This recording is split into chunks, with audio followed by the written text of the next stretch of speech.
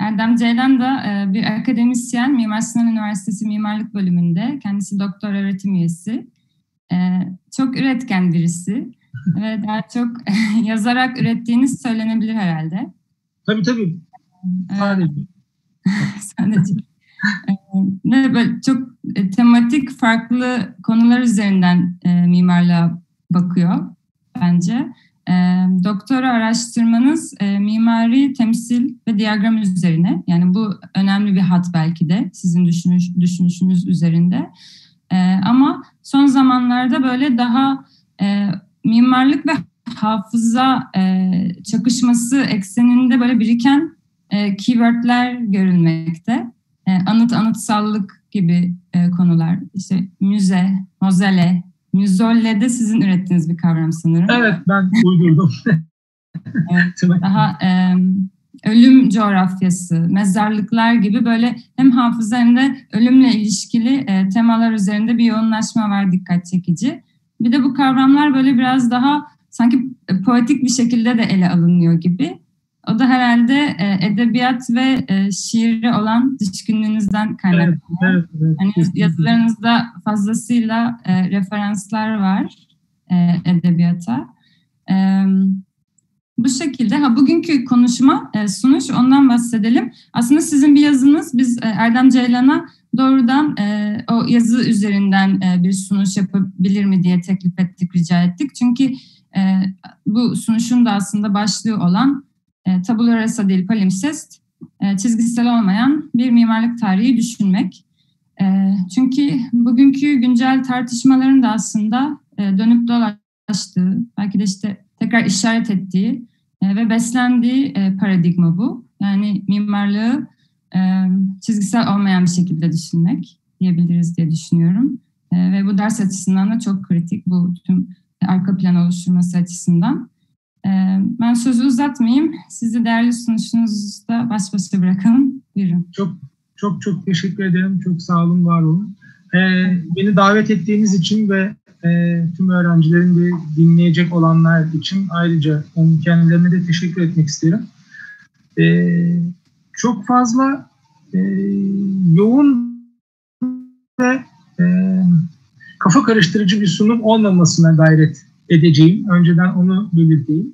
E, dilerseniz e, ilgilenenler olursa daha sonradan makaleyi de paylaşmanız mümkün olabilir. Yani yaklaşık 45 sayfalık bir makale bu. Kendim e, bir bildiriden daha sonrasında e, üretmiş olduğum bir metin. E, onu motomot e, aktarmak gibi bir yol izlemeyi planlamıyorum. Biraz daha bir daha sonrasında belki bir tartışma alanı açmak üzerine e, bir takım soru işaretleri e, zihinlerde oluşturmayı e, hayal ediyorum, öyle diyeyim. E, bu, bu bağlamda da Beril ve Sarper'e çok teşekkür etmek isterim. Beni tekrar e, davet ettikleri için bu güzel e, etkinliğe. E, şeyi e, paylaşabilmem için share screen yapıp e, değil mi? Evet. Sizinle ama, ama ha, e, galiba olacak şimdi. Olacak. Çünkü izin verdiniz. Hı hı, evet. E, gör, göründü mü acaba? Evet. Tamam. Ben de şey yapayım. Ama şimdi galiba şeyi göstereyim. Galiba daha iyi göründü değil mi? Evet. Tamam. Ben tam ekran oldu. Tamam. Çok güzel. Ee, ufak bir girizgah olarak şöyle söyleyeyim. Ee, ben 2013 yılında bir e, Arkteo isimli bir e, konferansa katılmıştım bir bildiriyle. Yine bu konuya dokunmaya çalışan bir bildiriydi o. Daha sonradan Mimarlık ve Özellik adlı bir kitapta bir kitap içi bölüm olarak bu makaleyi üretmeye çalıştım bu bildirinin e, üzerine bir şeyler koymaya çalışarak. E, beni bu tür bir şey üzerine düşünmeye iten e, şey 2000 yılında e, Manuel Delanda'nın e, yazmış olduğu bu çizgisel olmayan tarihin bin yılı adlı metniydi. E, metinde e, e, jeolojik, yani inorganik ve organik bir takım süreçlerin e, oluşum e, mantığı, oluşum sistematiğinin e, tarihsel süreklilikleri üzerine bir metindi. E, ve e,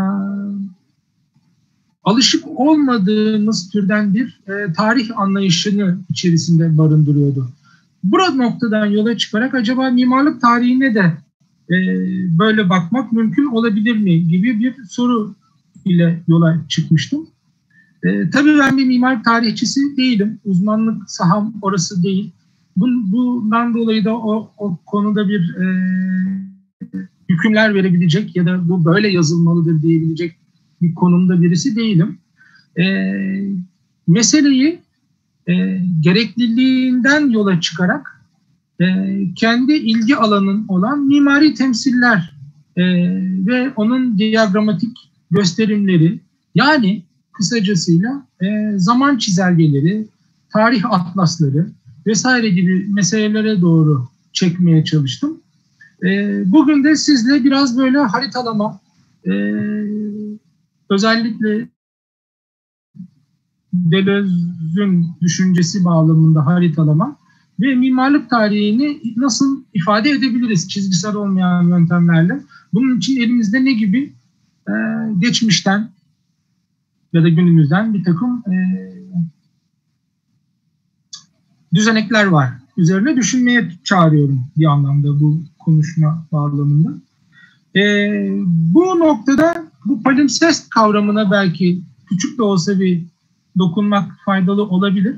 Çünkü aslında benim şu anda yapmış olduğum e, konuşma, sunumda e, 2013 yılında yapmış olduğum bildirinin ve sonra onun üzerine geliştirmeye gayret ettiğim makalenin e, bir devamı ama onlardan bazı parçalar taşıyor, bazı parçaları taşımıyor.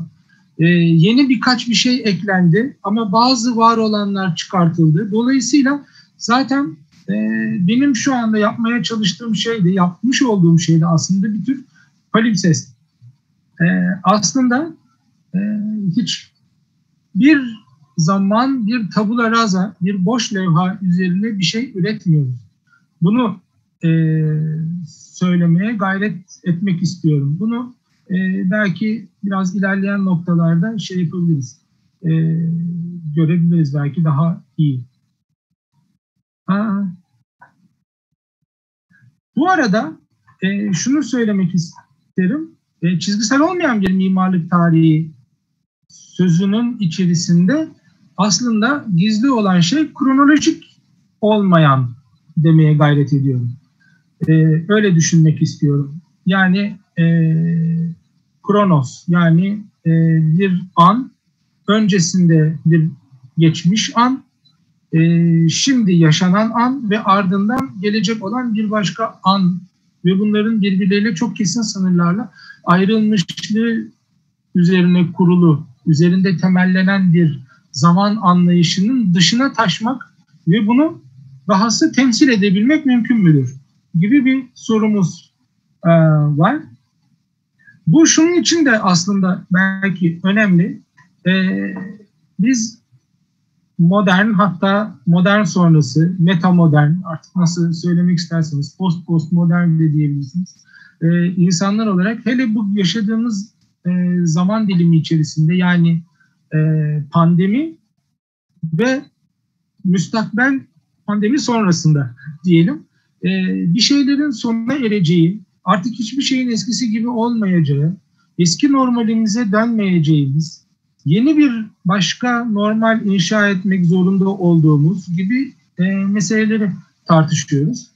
E, dahası bu antroposenin ve sonrasında işte bu insan sonrası tartışmalarının da olduğu noktada sürekli olarak e, Batı tarih yazımının bize e, dayatmış olduğu, bizim de bir biçimde benimsediğimiz, kabullendiğimiz, e, beğenerek ya da beğenmeyerek bir e, bir tarih anlayışımız ya da kavrayışımız var diyebiliriz. Yani bir şeylerin sonlanması, bir şeylerin başlaması gibi.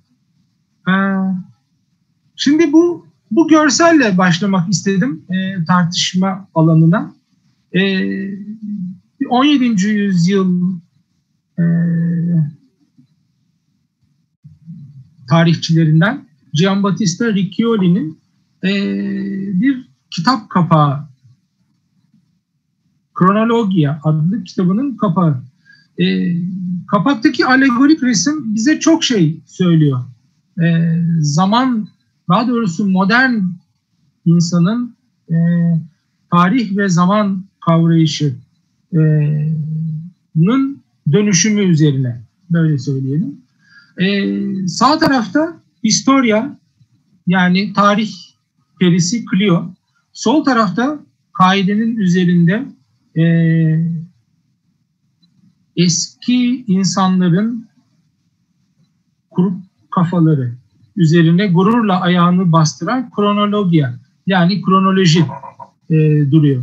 Buradan da anlıyoruz ki 17. yüzyıl civarında aslında tarih ve kronoloji birbirlerinden farklı şeyler.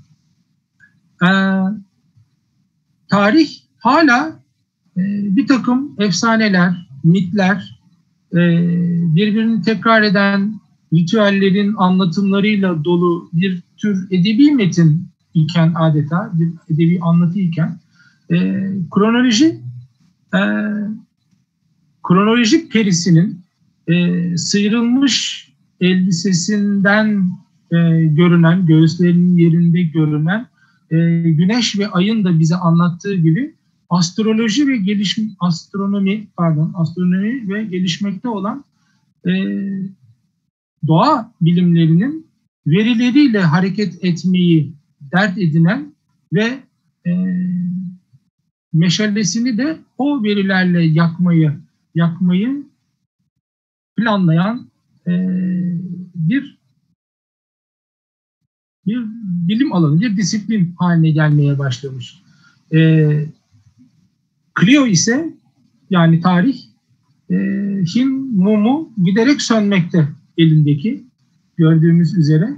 Dolayısıyla arka taraftaki o e, e, tomurcuklanarak patlamış e, bilgi zambakları diyelim aslında artık e, kronolojinin yani e, kronolojik bir tarih anlayışı üzerinde e, tarih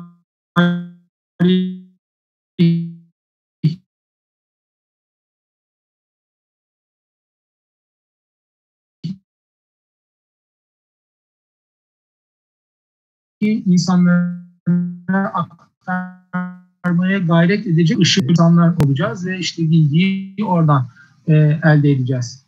Şimdi bu tartışmanın hemen arkasında e, bir e, bir liste e, sunmak isterim.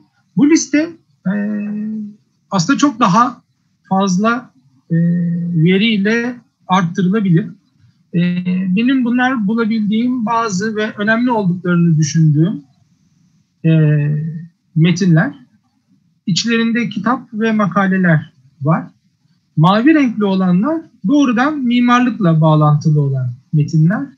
Beyaz renkli olanlar ise e, edebiyat, e, felsefe ve aklınız tarih, fizik, bilim, çeşitli dil bilim gibi alanlarda üretilmiş olan bir takım e, sonculuk örnekleri.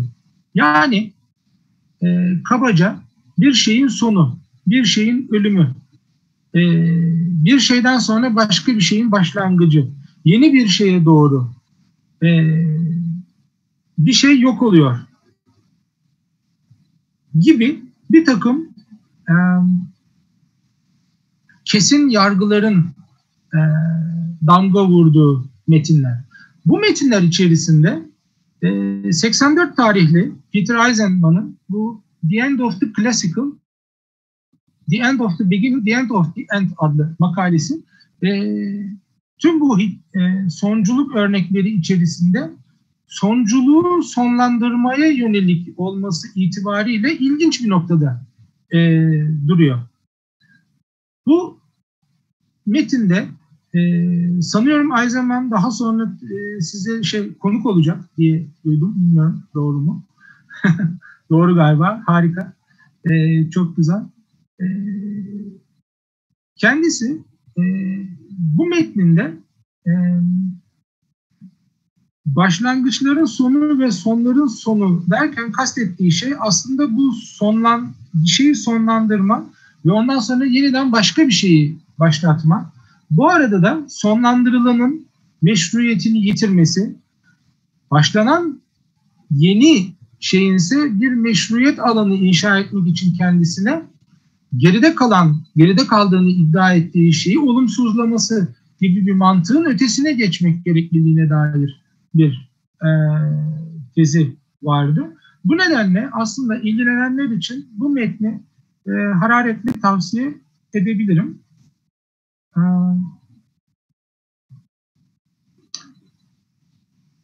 bu ilginç bir e, diyagram. Şu bağlamda ilginç. E, Alfred Barr e, New York'taki Modern Sanatlar e, Müzesi'nin e, Modern Sanat Müzesi'nin kurucu küratörü diye biliyorum. Barın bu bu çiziminde kronolojik bir sıralamaya yerleştirilmiş modernist sanat akımlarını e, görüyoruz. E, etki alanlarına göre e, belli bir takım e, alanlara sahipler. Bu alanlar gayet e, okunaklı alanlar. Mesela kübizmin oldukça etkili olduğunu büyüklüğünden, kapsadığı alandan e, kavrayabiliyoruz. Ama buna mukabil fobizmin biraz daha küçük bir elipsi var gibi. Fakat burada ilginç olan şey e, bu modernist sanat akımlarının birbirleriyle olan e, ilişkilerini bir takım renklendirilmiş ya da kesikli çizgilerle ya da e, kesikli olmayan çizgilerle e, birbirleriyle ilişkilendirmiş olması. Bu aslında e, modernist sanatın her ne kadar e, bu kronolojik sistematik içerisinde e, 1935'li yıllara doğru 1890 1890'dan 1935'e doğru giden bu e, zaman çizelgesi içerisinde e, geometrik ve geometrik olmayan soyut sanatlara doğru ilerlediğini, bu bunun kaçınılmaz bir ilerleme olduğunu e, aslında tüm bu akımların bir biçimde ya geometrik ya geometrik olmayan alanlara doğru gitmekte olduğunu yani bir telosun ya da bir erekselliğin e, gizli de olsa var olduğunu ima etmesi açısından e, ilginç bir e, diyagram. Bunu da e, şöyle geçelim. Burada bir takım e, söylemlerden belki bahsetmek mümkün olabilir. Özellikle sanat, sanatın sonu, sanatın ölümü vesaire gibi. E, sanatın e, ölümü aslında Hegel'den beri e, üzerinde konuşulan, tartışılan bir mesele. E, yukarıdaki alıntıda da belki takip etme şansınız olabilir. E, sanatın geçmişe ait bir şey olduğu, daima öyle kalacak olduğu, saf gerçekliğini ve hayatını yitirmiş olduğu söylemi üzerine e, kurulu. Ve bu yaklaşık e, 20. yüzyıl başlarına kadar e, devam ediyor zaman zaman kendisini e, ortaya çıkartarak. E, İkinci Dünya Savaşı sonrasında ise sanatın sonu tartışmalarının artık e, iyice benimsendiği, sanatın sonunun hiç de o kadar garipsenmeyecek bir e, noktaya doğru ilerlediği e, de görmek mümkün diyelim. Buradan yavaş yavaş e, mimarlığa doğru yaklaşalım. E, mimarlığın sonunun da geldiğini aslında bize e, ilk söyleyen belki de e, en azından basılı yayın üzerinden ilk söyleyenlerden bir tanesinin Victor Hugo olduğunu biliyoruz. 19. yüzyılın tarihselci roman yazarlarından.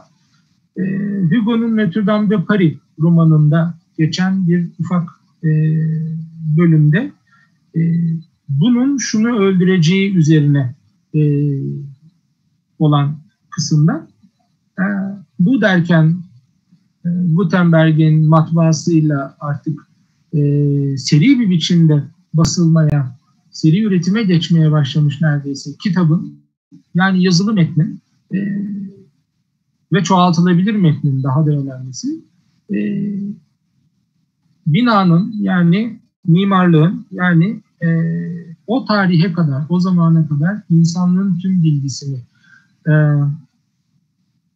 taşımış, nesillerden nesillere aktarmış olan e, arkitektonik nesneyi ortadan kaldıracağı, öldüreceği ve bu nedenden dolayı da mimarlığın e, insanlığın bilgisini artık taşıyamayacak olduğunun bildirgesi e, olacak. E, benzer bir yaklaşımı Charles Jenks'te de böyle görmek mümkün. E, modern mimarlığın ölümünü anlatmak için işte Minoru Yamasaki'nin Great Aigo e, konut yerleşkesinin yıkımını üstelik tarih vererek e,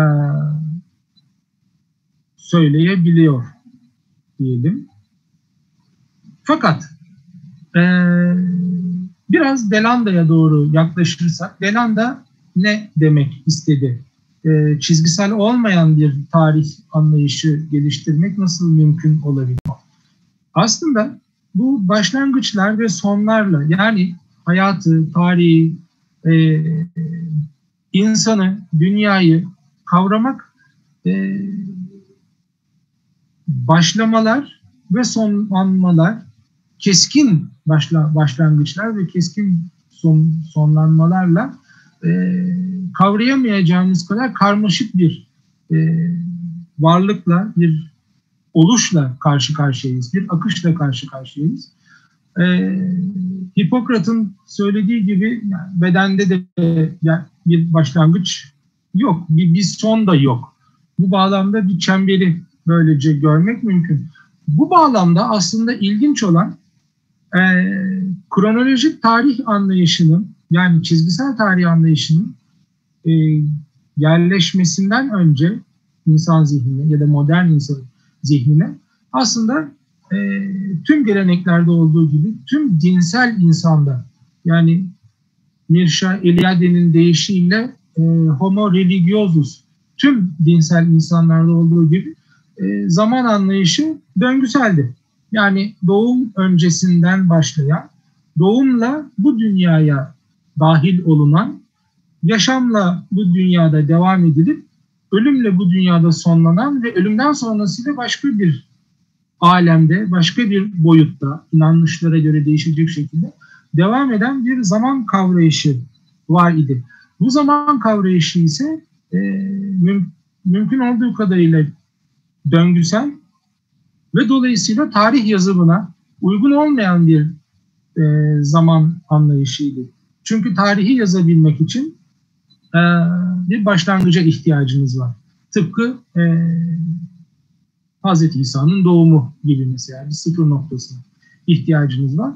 Döngüyü ortadan kaldırmak e, çizgiselliğe doğru geçişi sağlıyor. Bu döngüyü de gündelik hayatın içerisine e, yani zamanın döngüselliğini gündelik hayatın içerisine e, yerleştiren şey e, mitler ve ritler olacak. Yani nesillerden nesille aktarılan anlatılar ve e, belirli tekrarlar, belirli yıl dönümleri, belirli mevsimsel döngüler üzerinden ilerleyen ritüeller idi. E, modern insanda bu iki mit ve ritin e, gündelik hayatın, e, gündelik pratiğin dışına çıkmasıyla yani e, hayatın ve dünyadaki olup bitmekte olan şeylerin e, yani tüm üretimimizin dinsel çerçeveler tarafından belirlenmemesiyle, belirlenemez hale gelmesiyle yani kısaca e, Nietzsche'nin e, Tanrı'nın ölümünü bildirmesiyle e, ortadan kalkmış olmasıyla insan yeryüzüyle e, örtüşür hale gelmeye başlıyor. Bu aynı zamanda insanın bir tarihinin olmasının da hikayesi. E, diyelim, devam edelim. E, şairler özellikle e, bilirler. E, başlangıç dediğimiz şey çoğu zaman sondur. Son sonlandırmak da çoğu zaman bir şeyleri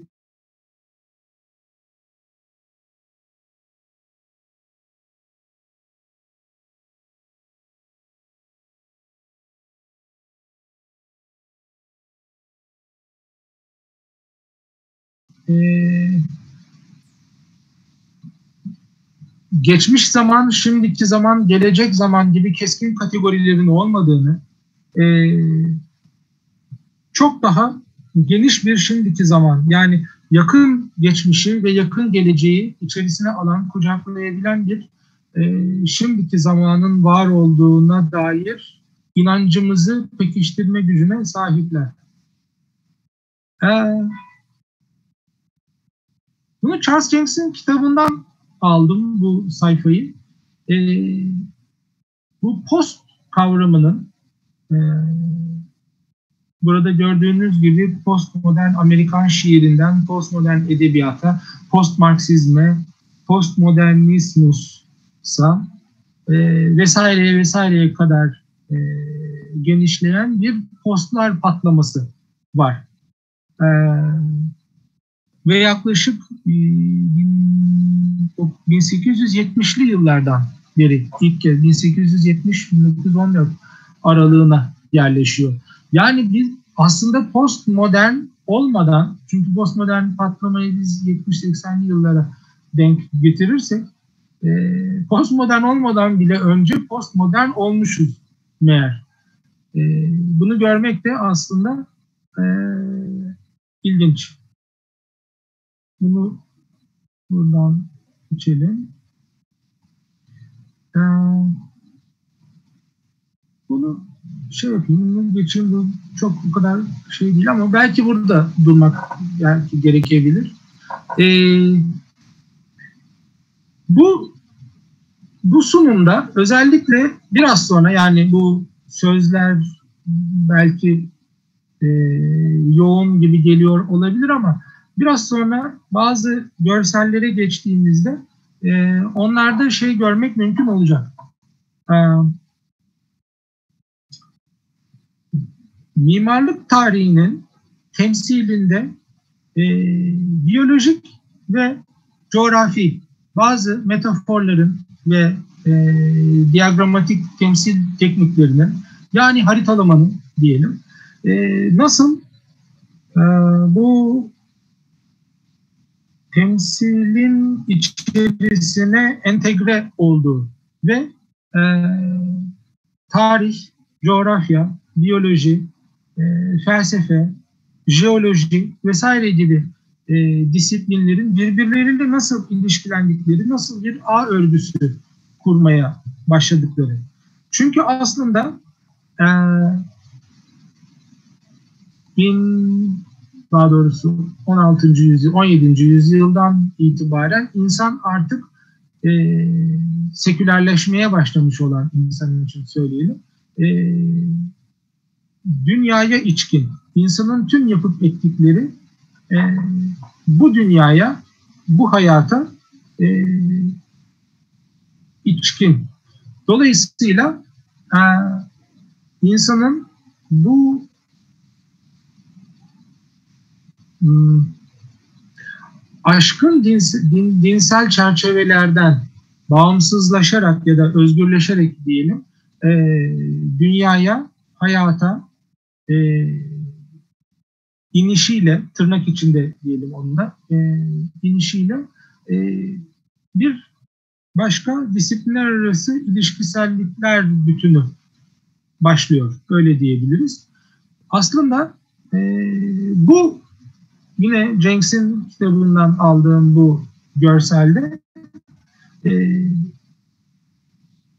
çeşitli bilim alanlarının birbirleriyle e, nasıl ilişkilendikleri ve günümüze doğru yaklaşırken e, ne kadar farklı e,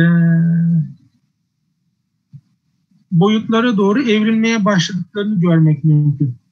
E, sadece 1800'lü yıllarda ekoloji ve termodinamik gibi iki tane e, alan varken e, kuantum fiziğinin ve görecelik e, teorilerinin de gelişmesiyle şu anda kaos bilimlerine doğru yaklaştığımızı görmek mümkün. Burada geri besleme, bilgisayar, e, yani kompüter e, bilimleri, e, yeni ekolojiler, bilişim, e, saçaklı mantık, fraktaller, çizgisel olmayan dinamikler, yani kendi kendine örgütlenme dinamikleri diyebiliriz bunlara, e, gibi konuların bilim alanına dahil olduğunu görüyoruz. Dolayısıyla aslında e, bilim alanındaki gelişmelere paralel biçimde e, mimarlık tarihinin düşünüldüğünü, mimarlık tarihinin temsillerinin de yine bu e, bilim alanlarındaki gelişmelere paralel oluşan temsil teknikleriyle e, çakıştığını görmek mümkün olacak. Biraz bu konuşma bunun üzerine e, gidiyor. E, bu çok güzel bir e, diyagram. E, şey yapanlar için, belki ilgi duyanlar için e, çok pardon. E, belki şöyle görmek mümkün olabilir. Bütüncülük ve indirgemecilik yani e, hayatı e, organik ve inorganikler olmak üzere e, kainatı e, anlamak, kavramak için ya e, yukarıdan aşağıya ya aşağıdan yukarıya doğru giderek bir takım analizler yapmak durumunda kalıyoruz.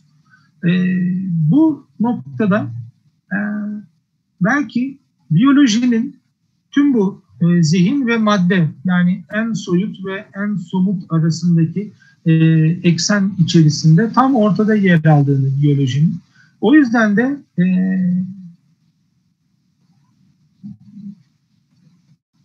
eğer mimarlık mimarlık bazında konuşacaksak mimarlık e, hayatla e, daha fazla ilişki kuracak bir e, noktaya doğru gidiyorsa, gitmeyi arzuluyorsa e, bu durumda aslında e, bir biçimde yolunun biyolojiyle kesişeceğini e, ister indirgemeci yaklaşımlarla hareket etsin, ister bütüncülleştirmeci e, yaklaşımlarla e, ilerlesin. Sonuçta e, düğüm noktasının e, biyoloji, biyoloji, botanik, zooloji, jeoloji ve coğrafya gibi bazı e, disiplinler olacağını e, düşünmek gerekiyor. Aa, şimdi Delanda'nın e, metninde kabaca ne söylediğini e, ya da hangi noktadan hareket ettiğini e, belki konuşmakta fayda olabilir. Ona göre gerçeklik yani çevremizde gördüğümüz, algıladığımız, duyularımızla e, duyumsadığımız diyelim e, gerçekliğin kendisi e, çeşitli türlerde faz dönüşümlerine maruz kalan tek bir madde enerji e, akışı. Buna belki günümüzde bu e, bilgiyi de eklemek mümkün olabilir. Yani e, çevremizde gördüğümüz her ama her şeyin e, bir aslında sürekli bir kendi içinde ufak ve sürekli e, pıhtılaşmalara maruz kalan ve tekrar o pıhtılaşmaların çözülmeleriyle e, yeniden kaotik bir noktaya geçen tam da o anda eş zamanlı olarak yeniden bazı düzenlenmeler, katmanlanmalarla biraz daha durulan ama sonuç itibariyle sürekli bir tek madde, enerji, bilgi belki e, akışı olarak görmek mümkün. Çevremizi böyle algılamak mümkün. E, ve bunun da aslında altında yatan bir hmm, bir mantık, bir kendi kendine örgütlenme sistematiği, bir soyut makinesi var. Deleuze'yen bir kavramla söylersek. E, Deleuze ve Gattari Marksist kökenli e, düşünürler. Dolayısıyla Tanrı kelimesini belki kullanma şansları yok, kullanamazlar ya da kullanmamaları e, gerekir. E, fakat e,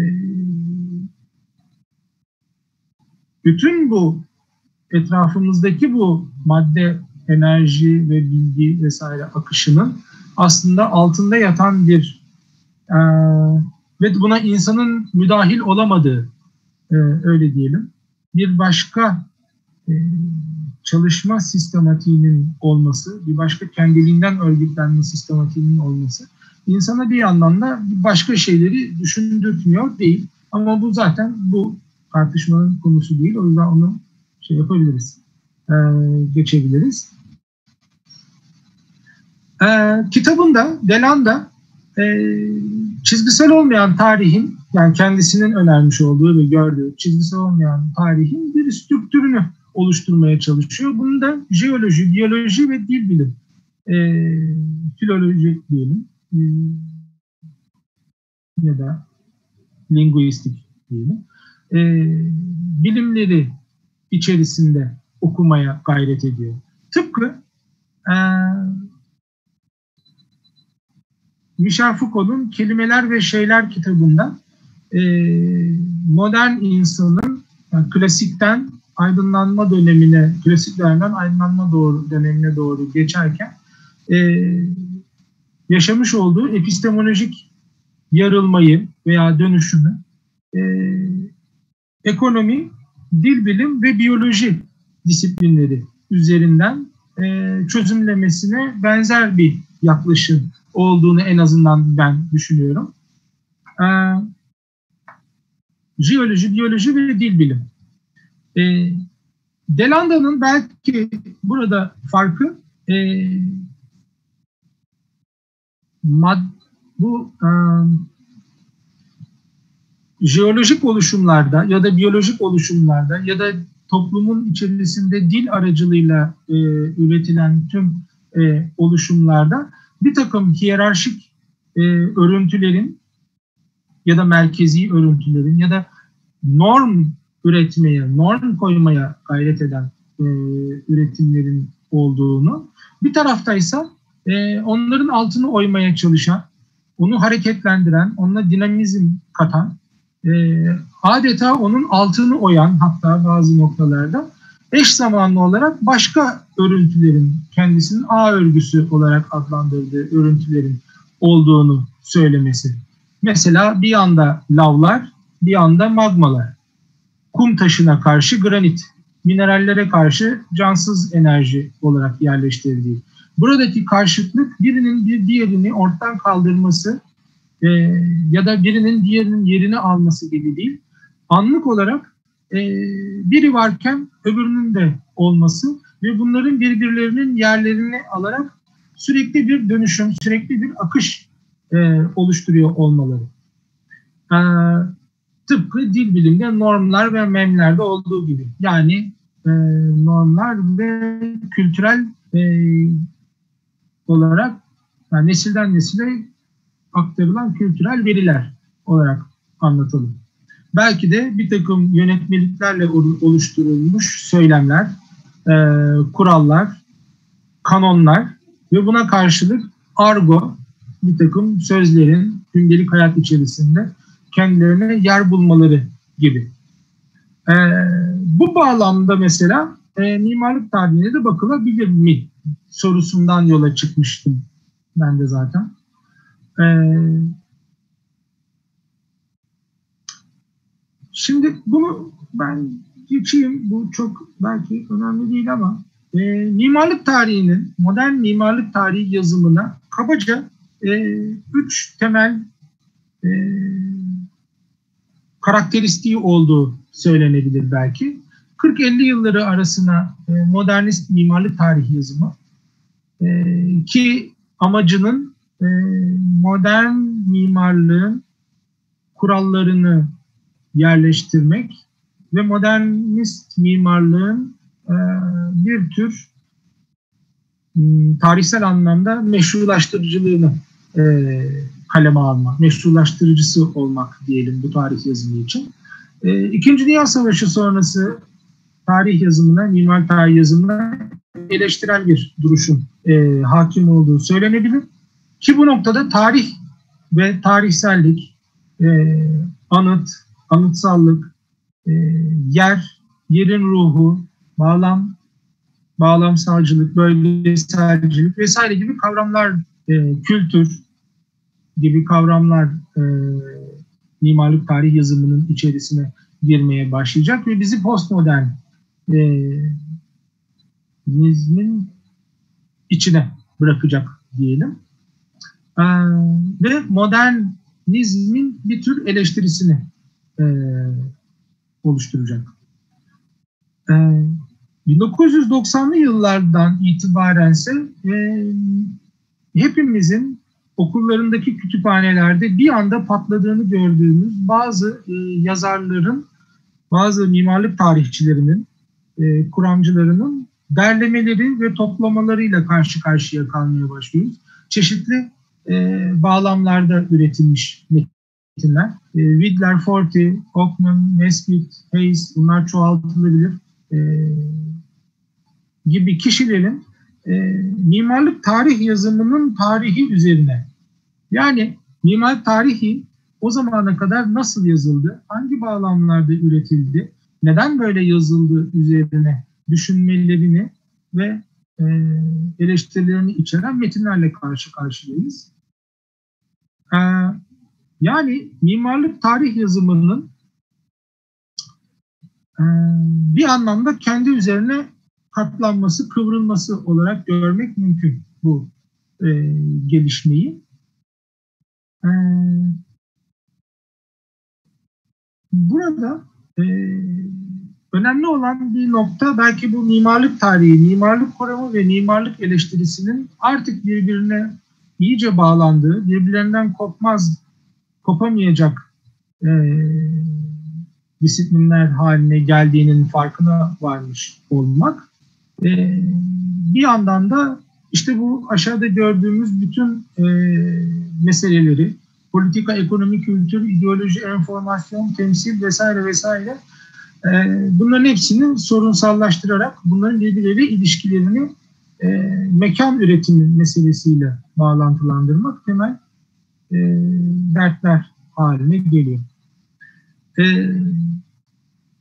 şimdi e, bir tarih bir karşı tarih yazımı olarak acaba bu e, çizgisel olmayan mimarlık tarihi üzerine biraz daha düşünebilir miyiz?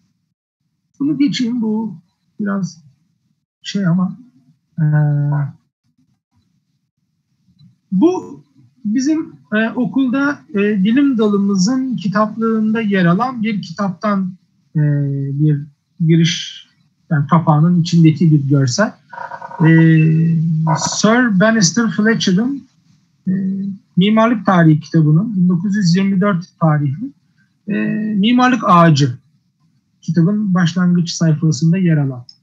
Şimdi bu çok ilginç bir e, görsel aslında. E, 1920'li yıllara kadar gördüğümüz üzere aslında mimarlık ve mimarlık tarihinin anlatısının görsel temsili e, tabii Batı dünyası için bunu konuşuyoruz ama yani sonuçta tarihi yazan da Batı dünyası bir anlamda. Ee, ağaç metaforunu ya da ağaç ikonografisini kullanıyor.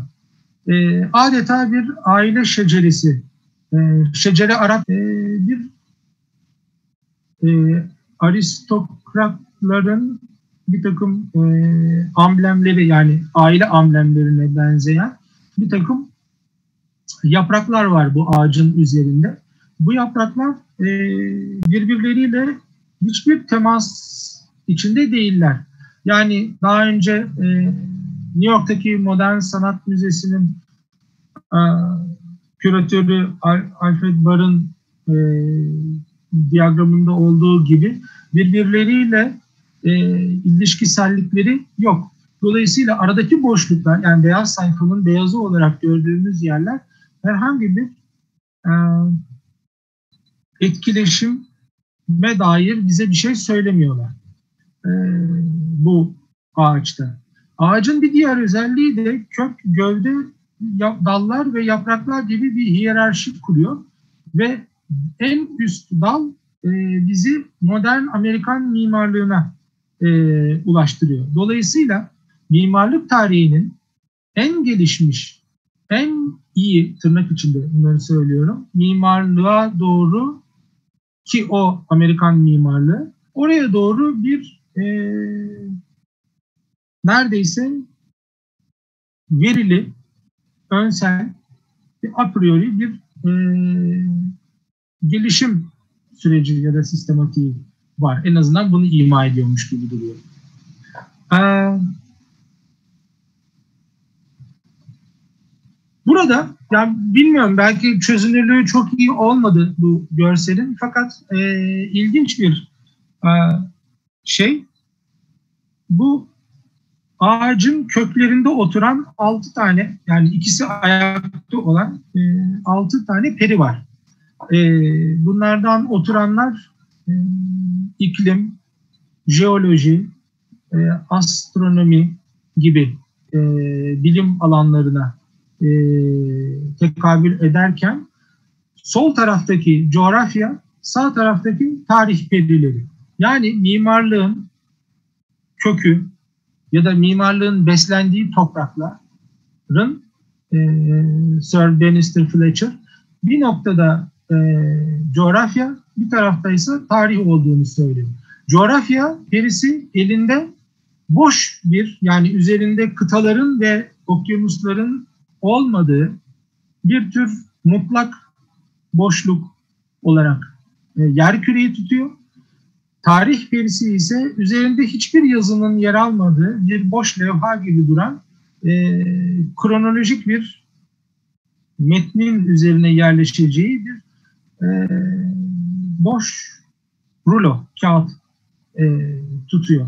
Bu da aslında e, yukarıdaki bu birbirleriyle etkileşimsiz mimarlıkların böyle kendi coğrafyalarında sanki bir mantar gibi bitmiş ve birbirleriyle hiçbir etkileşime geçmemiş e, mimarlıkları e, düşünen ve temsil edebilen bir bakışın aslında mimarlığın da e, tarih ve coğrafyadan nasıl besleneceği ne dair bir ipucu bize e, sunuyor.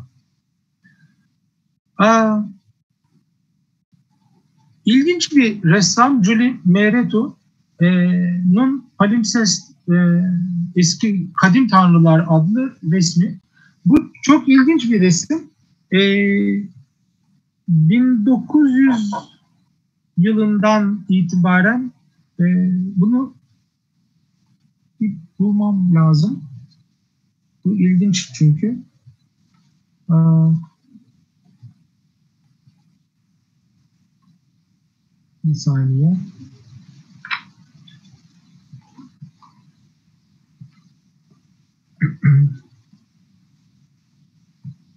evet. Buldum. 1900 yılından itibaren Modern Mimarlık adlı bir kitap var e, sanatçının elinde. O kitaptaki e, mimarlık tarihinin içerisinde yerleşmiş ikonik binaların plan, kesit ve görünüş çizimlerini kendi seçim e, sistematiğine göre alıyor. Biri bir e, çiziyor tekrar bu çizimin üzerinde. Sonra bazı yerlerini silmeye başlıyor.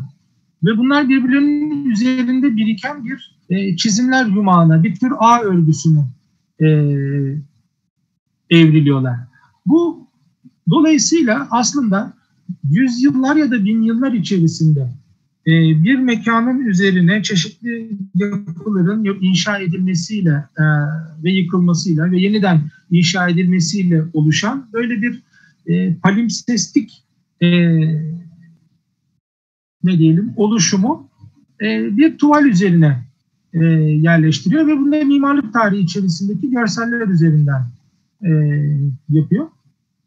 E, tabii bu palimpsest aslında bize e, hiçbir zaman modern mimarlığı e, idealize etmiş olduğu gibi ya da idealleştirmiş olduğu gibi tam anlamıyla kendisini gerçekleştirememiş olduğunu da söylüyor. E, ama bir yandan da gerçekleştirdiklerinin bazı izlerinin e, bize kadar geldiğini böyle bir e, yazılma, çizilme, silinme ve tekrar var olanın ya da yok olmuş olanın üzerine tekrar yazılma, çizilme sistematiğinin e, hayatımıza e, yön verdiğini adeta bize söylemiş oluyor. Bu aslında çok ilginç bir bağlantı. Belki de çok ilginç değil. E, diyagram e, ile de kavramıyla da çok bağlantılı. E, çünkü e, kağıdın olmadığı zamanlarda e, stilus adı verilen e, çok ince uçlu bir takım madeni e, çubuklarla e, kil levhaların üzerine e, yumuşak kil levhaların üzerine bir takım çiz, çizimler yapılabiliyordu. Bunlar harfler olabiliyor ya da bazı şekiller olabiliyordu. Daha sonra stilusun o keskin olmayan tarafıyla e, o şekiller tekrar siliniyor, ortadan kaldırılıyor, üzerlerinden e, geçiliyordu ve tekrar e, o kil tablet yeniden kullanılabilir hale geliyordu. Dolayısıyla aslında sürekli olarak böyle bir e, çizilenin üzerine bir şey yapma, aslında o çizilen, eski çizilenin bazı izlerinin kaldığı, bazı izlerinin yok olduğu, bazı izlerinin dönüşerek yeni başka izlerin oluşmasına yol açtığı bir e, akışkanlık söz konusuydu. Aslında bu mantığı e, insan nesilleri içinde yani bazılarımız işte vaktini tamamlıyor, ölüyor. Fakat genetik e, genetik materyali bir sonraki nesle aktarıyor. Onda bazı şeyler devam ediyor, bazı şeyler devam etmiyor. Hayatın da işleyiş sistematiğini bu gözle okumak ve e, mimari tasarımın e, temsil aracılığıyla kendisini var etme mantığını da bununla özdeşleştirmek bana çok mümkünmüş gibi geliyor. E, belki bir tartışma alanında bu olabilir e, sonrasında. E, biraz hızlanayım. E, bu modern haritacılığın yani atlas, coğrafi atlasçılığın e, kurucu babası diyebileceğimiz Abraham Ortelius'un e, Theatrum Orbis Terrarum yer kürenin tiyatrosu ya da temsili gibi e, Latinceden Türkçeleştirebileceğimiz e, çizimi e, aslında insanlık tarihinin e, yeryüzüyle, coğrafyayla yani biyolojik ya da inorganik oluşumlar, jeolojiyle birlikte düşünürseniz e, bir aradalığı üzerine e, düşünmek için çok iyi bir fırsat veriyor. Bakın e, henüz Güney Amerika ve Kuzey Amerika'nın kuzey bölgeleri e, henüz tam anlamıyla keşfedilmemiş olduğu için onlar varsayımsal bir e, oluşumdalar.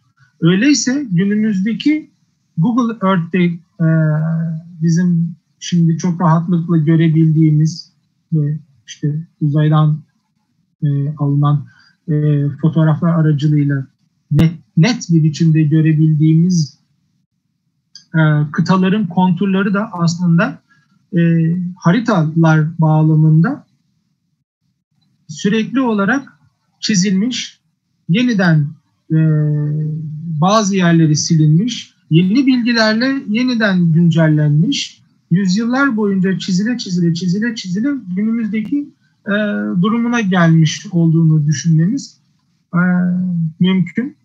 Tabii bu arada gördüğümüz üzere e, Batı uygarlığının çok zengin bir e, görsel metafizik oluşturduğunu e, oluşturduğuna şahit oluyoruz bu haritalar aracılığıyla. Ee, ve bunun 19. yüzyılda da bütün neredeyse görme e, rejimimizi yani modern insanın görme rejimini e, kökünden değiştirdiğini, diyaramalar, e, dünya fuarları, e, panoramalar vesaire gibi görsel teknolojilerle bunu zenginleştirdiğini de e, biliyoruz. E, şimdi coğrafya tarih ilişkisi bu şey üzerinden bakınca e, çizgisel olmayan bir mimarlık tarihini e, görselleştirmenin öyle ya da böyle e, coğrafya coğrafyayı e, görselleştirme teknikleriyle e, bir biçimde paralelleşmek zorunda olduğu ya da özdeşleşmek zorunda olduğuna dair bir e, düşünceden yola çıkarak bu e, görselleri sizlerle e, paylaşıyorum. Bu e, Andrea Martignoni'nin bu e, ilginç haritası e,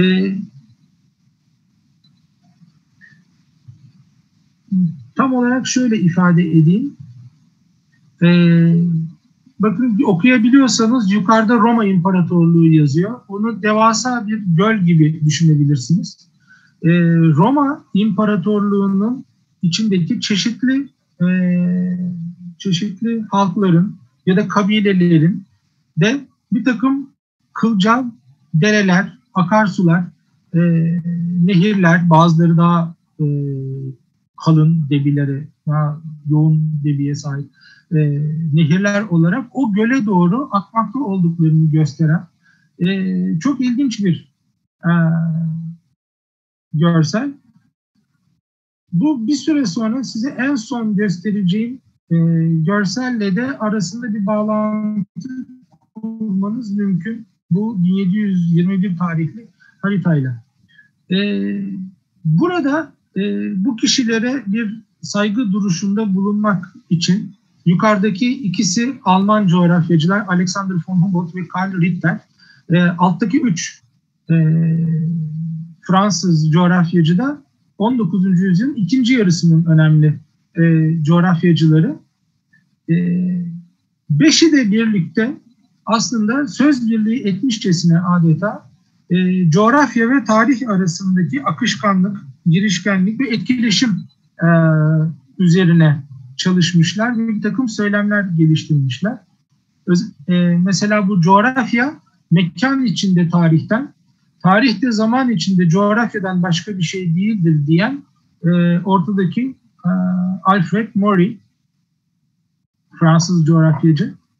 E, coğrafya ve tarih arasındaki ilişki aslında e, mekan ve zaman arasındaki e, ilişki bir. E,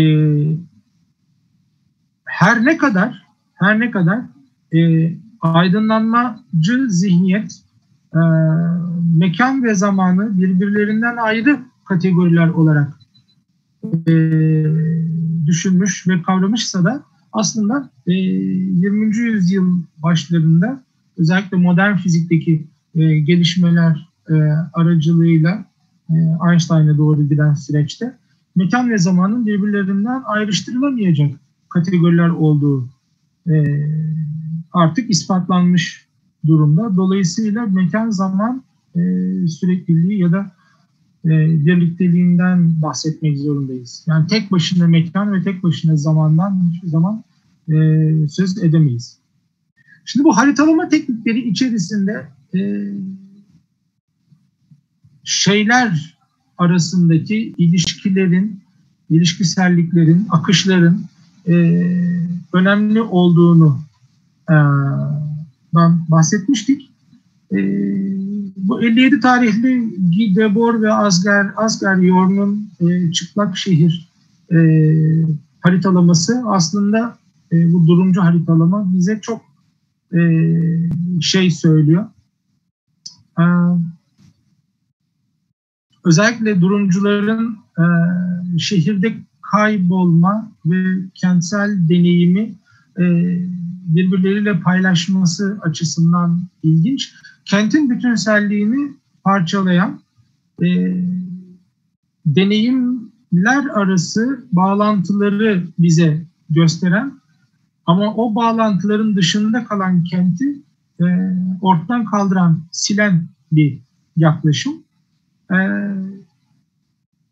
bu avantgard haritalama tekniklerinden bir tanesi de e, yine durumculardan Marcel Merye'nin e, bu hayali haritası. Hayali ama bir yandan da e, gerçek. Şöyle ki 1939 tarihli bu e, harita sanatı diyelim. Harita sanatı Marcel Marie'nin bir ana vatan arayışı gibi bir ismi var. E, gerçek daha doğrusu mevcut coğrafyaları gösteren haritalardan e, keserek oluşturduğu bir e, kolaj bu. E, dikkat ederseniz e, kuzey-güney yönlenmesi bu haritada yok. Yani yazılar belli bir yöne doğru yazılmıyorlar. E, imza sanatçının imzası başka bir yönde. E, yapıtın adı başka bir yöne doğru bakıyor. Dolayısıyla aslında burada böyle bir ana vatan arayışının e, boşa çıkacağı e, bir ütopya olarak en azından öyle düşünüyorum. Bir ideal e, coğrafya olarak e, boşa çıkacağı ama bu arayışın belki de hiç bitmeyeceği e, gerçek parçaların bir araya gelmesiyle oluşmuş bir gerçeküstü coğrafyaya karşılık gelebileceği gibi böyle karmaşık bir e, yaratıma e, bizi sevk ediyor. Bu açıdan e, bu haritanın yani yönsüzlük meselesi. Çünkü e, özellikle e, keşifler çağının ertesinde ya da o zamanda en azından eş zamanlı olarak o çağda e, haritalama tekniklerindeki bir gelişmedir. E, kağıdın üst tarafının kuzeye gösteriyor olması. E, oysa biliyorsunuz ki e, hem Osmanlı e, haritalarında hem Doğu, Çin ve Japon haritalarında e, tıpkı e, Enric Mirales'in çizimlerinde olduğu gibi haftaya yani haritanın kendisine her yönden bakılabilir. Haritanın üzerindeki yazılarda çeşitli yönlerden okunabilir idi.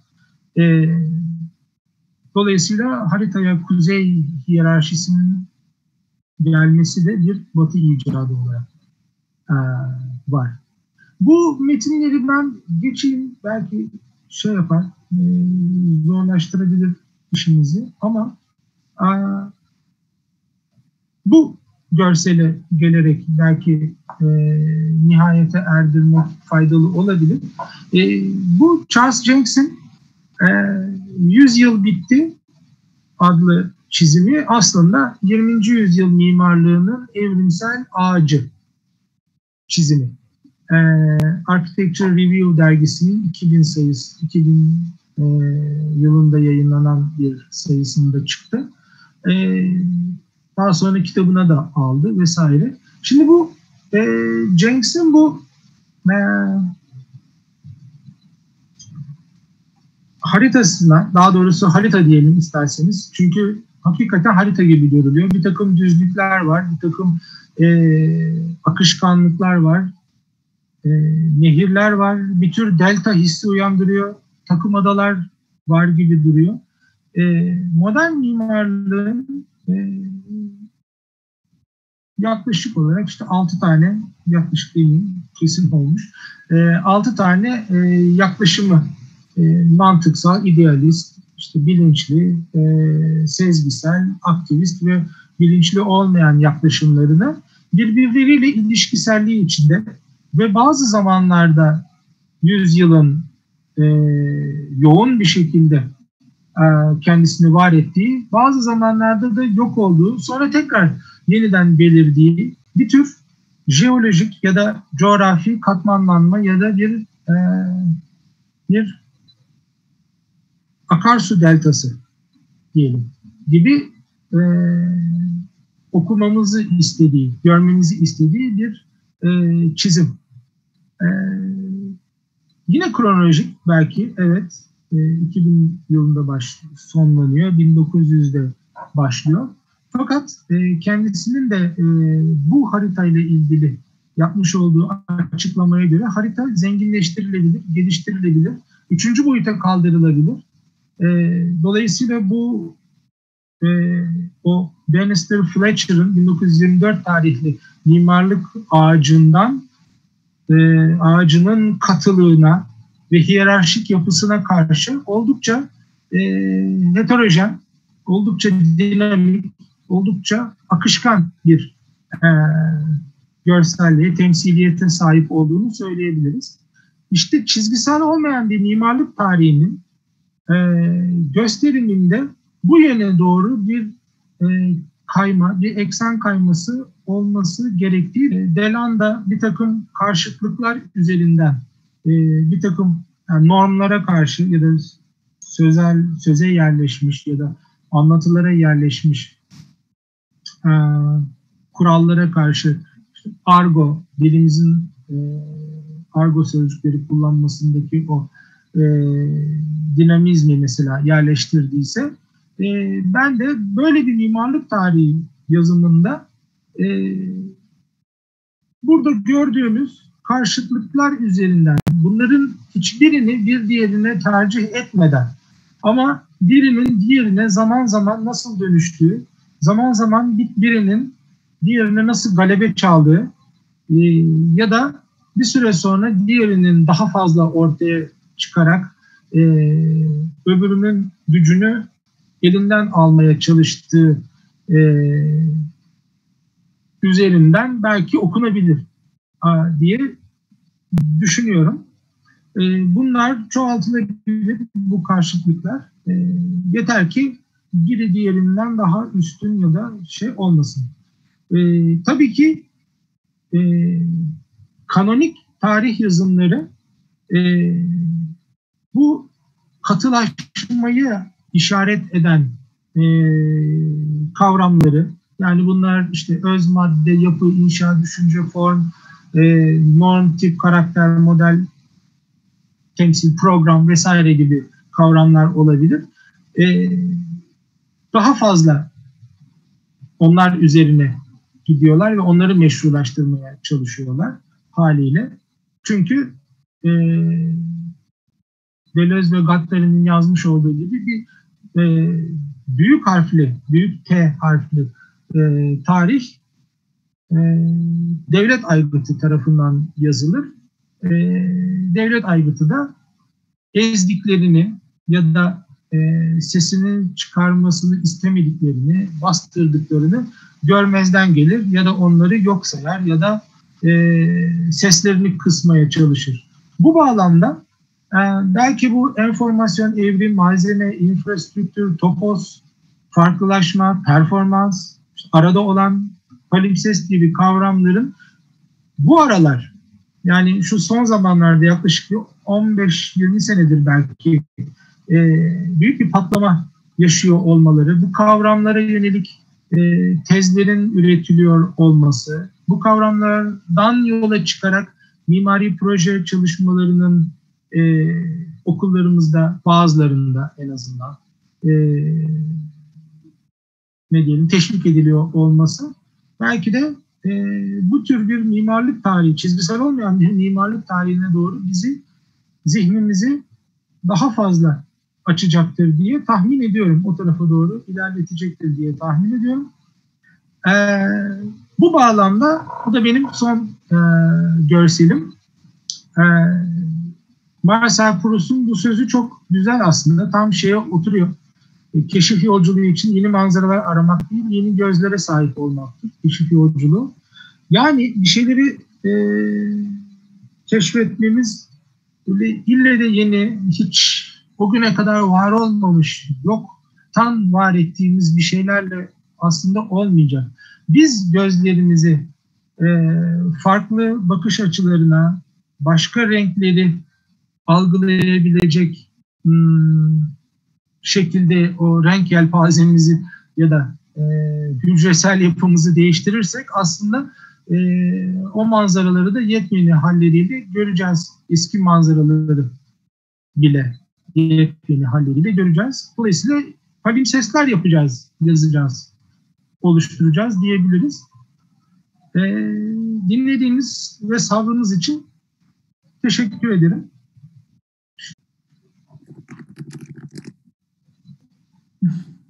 Bir öğrenci sorum yok ama çok faydalı güzel bir sunumdu. Teşekkür ederim demiş. Belki size görüyorsunuz chatten. Çok sevindim. Bence sorular da olabilir gibi geliyor.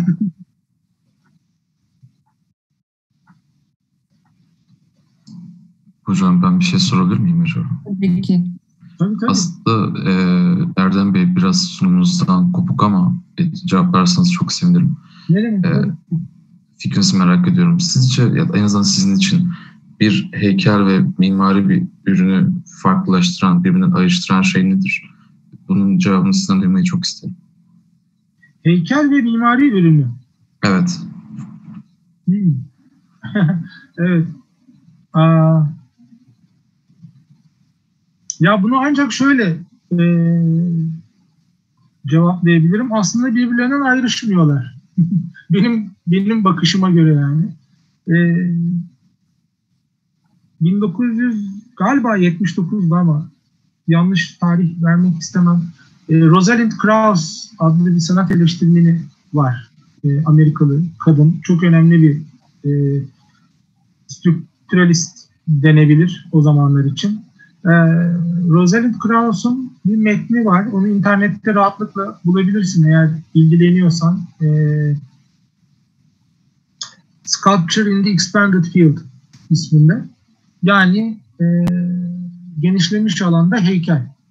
E, o makalesinde Rosalind Krauss e, bir tespitte bulunuyor. Şeyden yola çıkarak. 1950'li yılların yani İkinci Dünya Savaşı sonrası avantgard Amerikan e, heykel sanatında e, o güne kadar heykel olarak adlandırılan, heykel diye bilinen şeylerin dışına çıkmış bir takım pratikler ve yapıtlar var. E, onlardan yola çıkarak heykel kavramının değiştiğini, dönüştüğünü, kapsamının genişlediğini e, söylüyor. Yani yaklaşık 500 yıldan beri, Rönesans'tan beri heykel işte biliyorsunuz kaidenin üzerine çıkmış. Belli bir yönden algılanmayı ve mesajı o yönden almamızı bekliyor. Daha figüre e, dönük e, üretimler heykel için söyleyebiliriz. 500 yıllık tarih içerisinde. E, daha öncesinde heykel dediğimiz şey de zaten e, arkitektonik nesneyle bütünleşikti. Karyatitlerde olduğu gibi.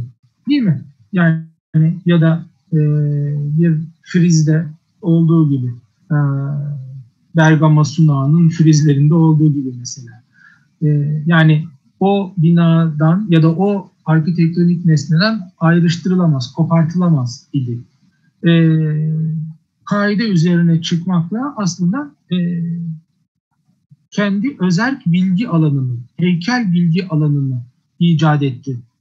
E, işte Rosalind Krauss e, İkinci Dünya Savaşı sonrasındaki bu Amerikan avantgardlarında e, galerinin dışına çıkan e, toprakla özellikle iş yapmaya çalışan land art dediğimiz işlere soyunan e, kendisini heykeltıraş olarak yani böyle e, bir mermeri oyan, bir taşı oyan ya da bir takım nesneleri birbirlerine e, kaynak yaparak üretmeyen de başka ölçeklere taşıyan bir üretim olduğundan bahsediyor.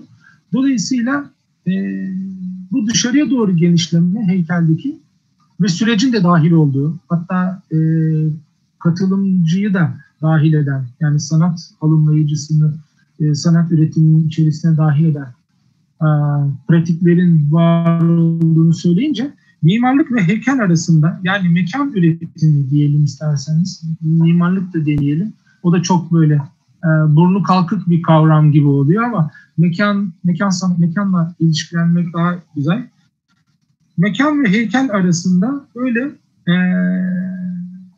ilginç girişimler oluşmaya başlıyor.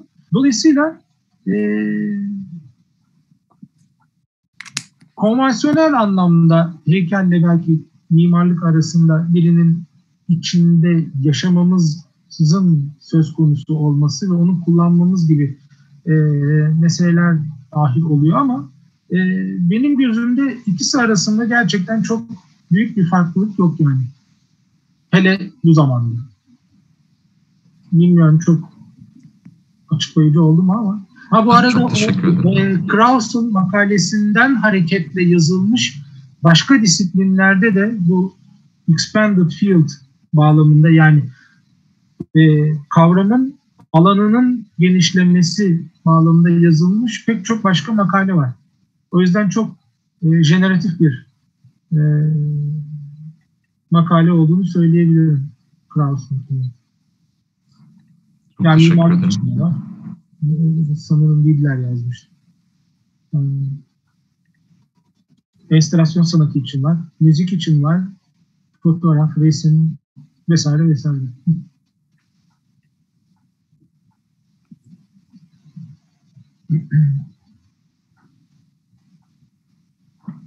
Başka söz almak isteyen var mı?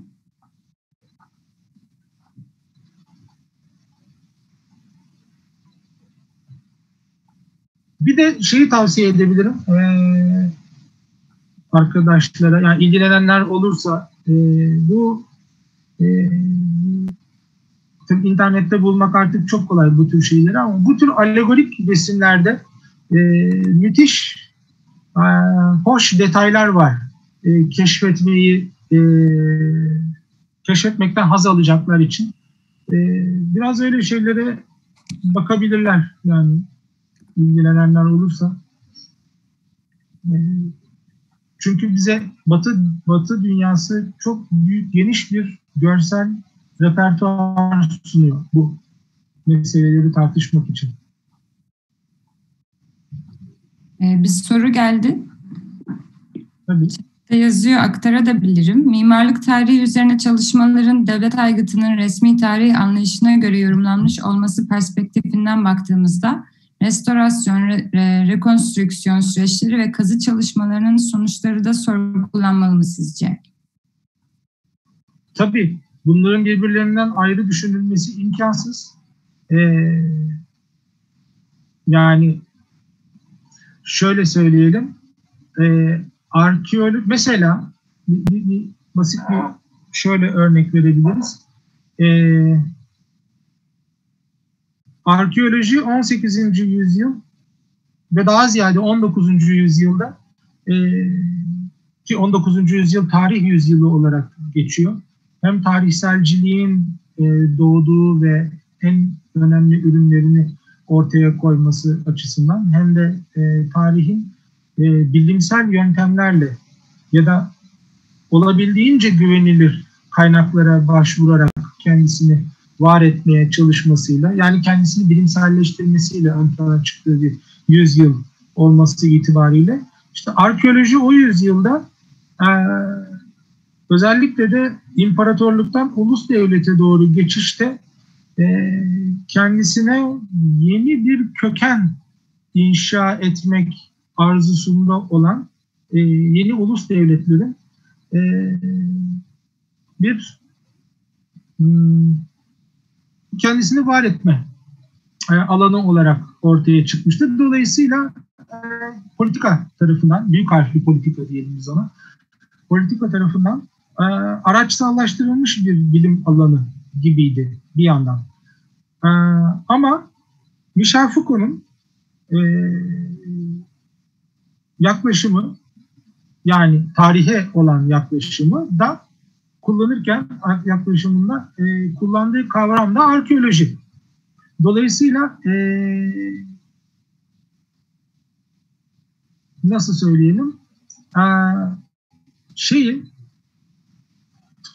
e,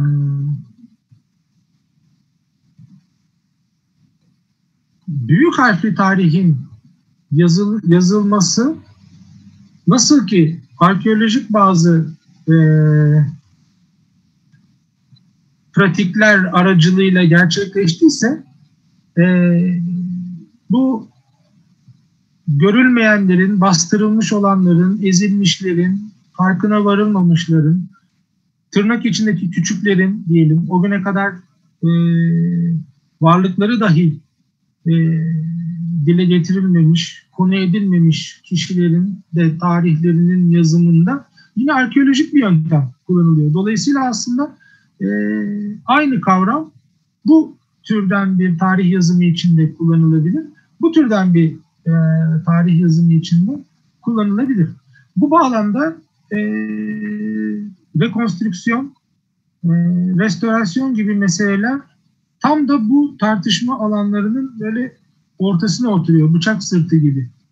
E, kişisel olarak ben rekonstrüksiyonun e, olmaması gerektiğine inanan bir kişiyim. E, ama e, bazı yerlerde yapıldığını da biliyoruz. İşte Varşova ya da Dresden gibi şehirler şu anda gördüğümüz aslında rekonstrüksiyon yapılmış şehirler. Yoksa 2. Dünya Savaşı'nda zaten dümdüz olmuşlardı. Hmm. Bilmem şey oldu mu? Hmm. Yanıt olabildi mi?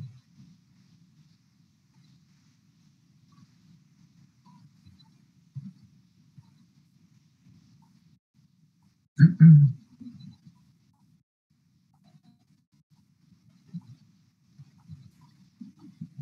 pek çok konuda farklı farkındalığımı arttıran bir sunum oldu dedi Rukiye. Yani soruyu soran öğrencimiz. Ben çok sevindim Rukiye için. yani tabii e, sanıyorum bütün bu arkadaşlar e, mezun olmak üzereler.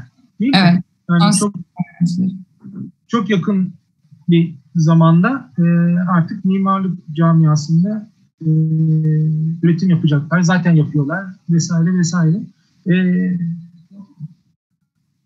evet. Yani e, benim tavsiyem e, boş vakitlerde mümkünse e, yani mimarlığın pratiğinin içinde olmak başka bir şey ama e, tarihini ve mimarlık metinleriyle olan bağlarını koparmasınlar. E, gündelik yaşamın hayhuyu içerisinde. Ee, çok keyifli, eğlenceli noktalara e, gidebilirler. Öyle değil. Evet. Peki başka soru gelecek mi? Benim var aslında. Tabii. Ee, şimdi yani biz mimarlar için çağ atlamak rakamlar değil aslında bir şeyin sonu veya yeni bir başlangıcı olarak nitelendirdik. Ee, şimdi mesela bu dönem yaşadığımız mimarlığın mesela bu şu an mimar mesela bu dönemin belli bir mimari formu var modernistlik diye adlandırabiliriz mesela. Ee, bu dönemin yıkılması için mesela yıkıldı ve tekrar Rönesans dönemine ait bir e, form benimsedik ve e, ve bunu yeniden e, her yerde şey yapmaya başladık, inşa etmeye başladık. Peki bu da çağ atlamak oluyor mudur yoksa e, değil mi? yani onu merak ediyorum. Ee, işte aslında belki de böyle bakmak yerine başka türlü bir bakış açısı geliştirmek daha iyi olabilir diye düşünmeye e, çalışıyorum. Çünkü şu, şöyle düşünelim, şu anda Ayasofya'da ayakta. E, Hadit'in Bakü'de yapmış olduğu e, salon var. Aslında bunlar bir tanesi çok eski zamanlarda 1500 sene önce inşa edilmiş olmasına rağmen bugün de de ayakta ve şu anki yani eş zamanlı olarak bu anı paylaşıyorlar. Bunun gibi aslında pek çok farklı e, yapım tekniği yani konstrüksiyon, pek çok farklı üslup, e, beğenelim beğenmeyelim, doğru yanlış bulalım, etik gayri etik bulalım fark etmez. Pek çok farklı yaklaşım, mimarlık yaklaşımı ve biçimsel tercih aslında eş zamanlı olarak varlar ve üretilmekteler. E, dolayısıyla aslında e, demeye çalıştığım şey bu bir şeyin sonu keskin bir şekilde bir şeyin ölümü sonu ve ondan sonra da başka bir şeyin başlangıcı gibi bir bakışın e, bunun bakışta olduğu ama gerçek hayatta bunun böyle olmadığını e, söylemeye çalışıyorum aslında. Yani demeye çalıştığım o.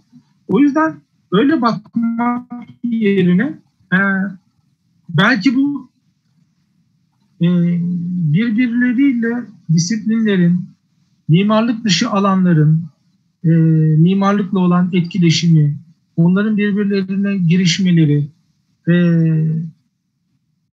mesela coğrafya alanındaki bazı gösterim biçimlerinin, tekniklerinin, haritalama teknolojilerinin hop mimarlık tarihinin e, gösterimine aktarılabilmesi gibi bazı e, kişiler tarafından.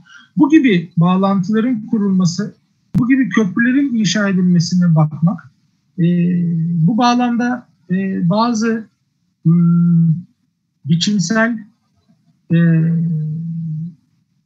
keşiflerin diyelim, mesela fraktallerde olduğu gibi ya da kıvrım e, da olduğu gibi topolojik bazı yüzeylerin işte matematik ve e, geometri alanındaki e, keşiflerden sonra da bu tarafa yani mimarlık tarafına aktarılması gibi bu etkileşimlere bakmak ve bunların arasındaki geçişkenliğe odaklanmak bence daha sağlıklı e, bir e, üretim alanı önümüze açabilir. Yani bu etkileşime bakmak aslında e, mekansal bir bakış. Ama bir şey bitti artık bundan sonra kesildi.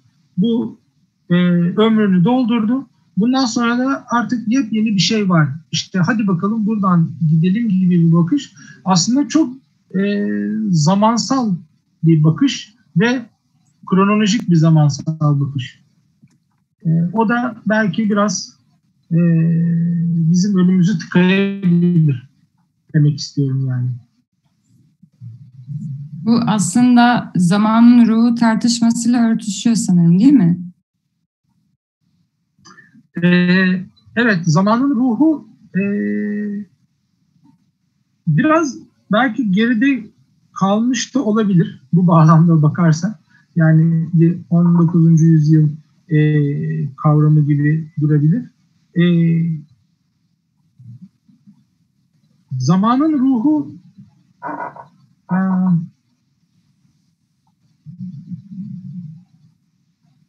şöyle söyleyeyim. E, yani aslında hayatın akışkanlığını biraz engelleyen bir şey gibi geliyor bana.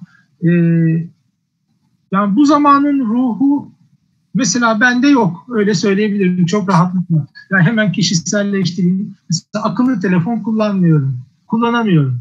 Dolayısıyla bu zamanın e, gerekliliği ve zorunluluğu neyse eğer ona uyum sağlamada bir beceri problemim var.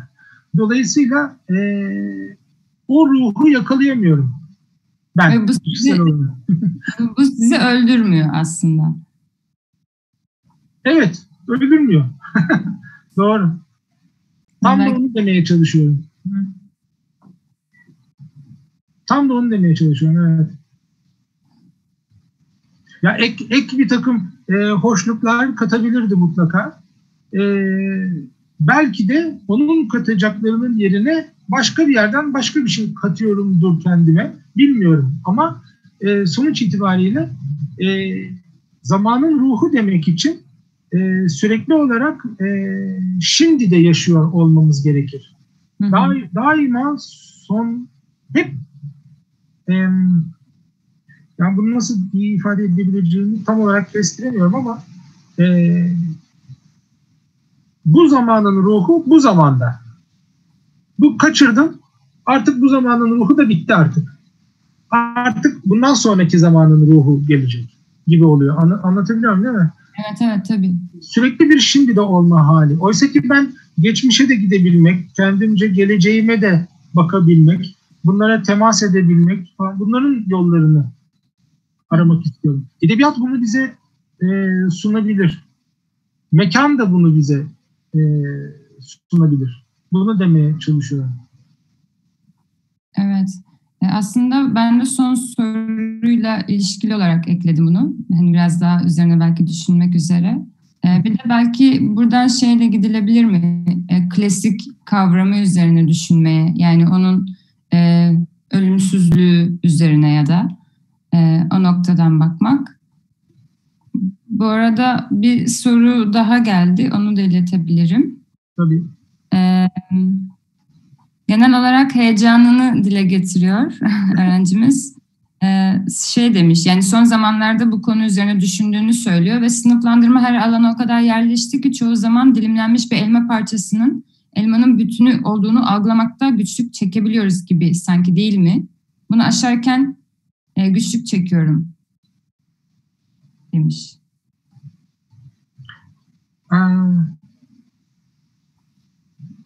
Önce klasiği isterseniz şey yapalım. Klasik meselesi e, Aslında edebiyat deyince aklıma doğrudan. tabii tabii. Aa, çok iyi anladım. Evet. Ee, hmm, belki Eisenman'ın e, makalesi, bahsettiğim makalesinin klasiksel olanın sonu olması, asıl ilk isminin e, ben e, başlamak belki faydalı olabilir. E, çünkü e, bir şeyin devam ettirilmesi üzerine düşünmek aslında o şeyin ölmüş ya da ortadan kalkmış ya da e, gücünün zayıflamış ya da gündelik hayatın içerisine nüfuz etmişliğinin ortadan kalkmış olduğunun da ilanı oluyor. Tıpkı geleneğin e, gündelik hayat pratiği içerisinde kendi kendine dönüşerek var olmasının yerine gelenekçiliğin gelmesi ve hadi geleneği yaşatmaya devam edelim düşüncesinin ortaya konması gibi. E, klasiksel olan yani klasik öldükten sonra, klasik ortadan kalktıktan sonra, klasik olan gündelik hayatı artık hmm, kendi akışkanlığı içinde dönüştüremez hale geldikten sonra e, ortaya çıkan bir düşünce. Tıpkı tarihselcilik gibi. E, gotik bitiyor, e, gotik canlandırmacılık devam etsin deniyor. Oysa ki gotik bitti.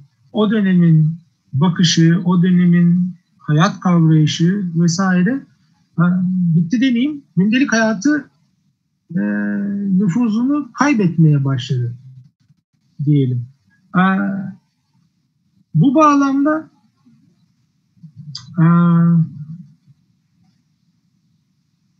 modern olan ortaya çıktığı andan itibaren klasiğin geride kalmış olduğu söylenebilir. Modernin de içinde bir takım klasik metinler türetilmiş olabilir. Mesela Suç ve Ceza gibi, mesela e, gibi e, ya da Alice Harikalar Diyarında gibi.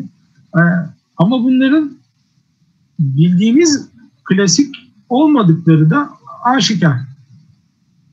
E, böyle bir karmaşık e, durum e, söz konusu. E, diğer soru neydi? Şey, e, E, sınıflandırmanın yaygınlığı ve bir parçanın bütünü ifade ediyor oluşunu fark ede- edemeyişimiz.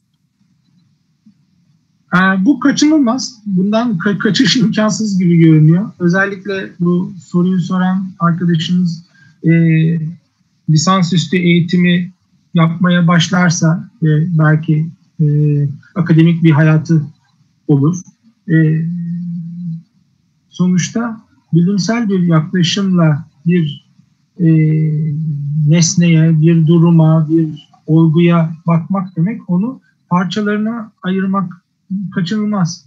parçalarını ayırmak zorunda kalmak demek olacak. E, ama bu parçaların birbirleriyle ilişkiselliğine bakabiliriz.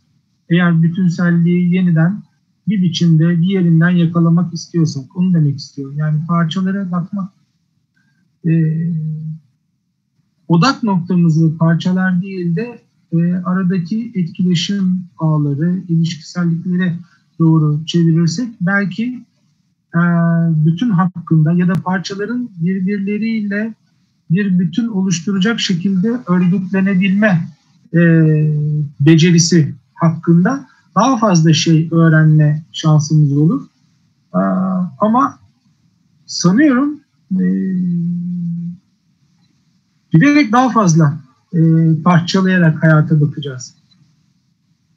Yani bu şeye benziyor. E, 1500'lü yıllarda anatomistler bedeni e, ellerindeki e, neşterlerle e, teşrih ediyorlardı. Yani e, diseksiyon yapıyorlardı. Kesitlerini alıyorlardı kadavranın, e, vücudun. E, şimdi e, MR yani manyetik rezonansla e, böyle mikron kalınlığında kesitler alınabiliyor vücuttan. Dolayısıyla daha fazla parçalıyoruz. Sürekli olarak daha e, alt ölçekli hmm, evrenlere ve üst ölçekli evrenlere yani kozmolojik manada daha makro ölçekte ve e, hücre, hücre altı, atom altı noktalarda da daha alt evrenlere doğru gideceğiz. Bundan bilimin e, geri adım atacağını sanmıyoruz. Özellikle genetik bilimindeki gelişmeler bağlamında da ya da CERN'deki e, deneyler bağlamında. E, bence bunların hepsinin farkında olmak ve bunlar arasındaki e, akışkanlıkları e, izlem, izleyecek bir zihin açıklığına, perspektif genişliğine sahip olmak e, önemli sanırım. Sanırım bu kadar. Öyle görünüyor. Tamam. Ee, arkadan gelirse biz yine belki size iletiriz. Olur tabii. tabii, tabii. Çok Dilerseniz bu sunumu da paylaşabilirim sizle. Ee, yani ilgilenenler olursa onlarla da şey yapabilirsiniz. Ya olabilir çok teşekkürler. Belki evet e, isteyenler tekrar bakmak isteyenler olabilir. Çünkü imajların hepsi böyle gerçekten didik didik edilmeyi hak ediyor. Evet ee, evet yani şey katmanlı, katmanlı. E, makaleyi de o, o var galiba zaten. İsterseniz evet. onu da rahatlıkla şey paylaşabilirsiniz. Tamam çok teşekkür ederiz. Rica ee, ederim. Genel olarak çok teşekkür ederiz tüm sunum için. Ben teşekkür ederim. Dinlediğiniz için. de bu arada çok pardon sonunda e, eklemiş. E, o da çok teşekkür ediyor. E, sunum çok bilgilendiriciydi ve bu slaytlar çok yardımcı oldu diyor. Bazı öğrenciler o noktada e, biraz sunum ve görsel ihtiyaç duyduklarını dile getirmişti. Hı. E, o açıdan da evet gerçekten çok zenginleştiriyor sunumu. Bir şeylerle beraber dinlemek. E, çok teşekkür ediyoruz. Rica ederim. Benim çok varsa. çok keyifliydi. Çok e, iyi oldu. E, yani dediğim gibi bu palimpsestik bir şey oldu benim için.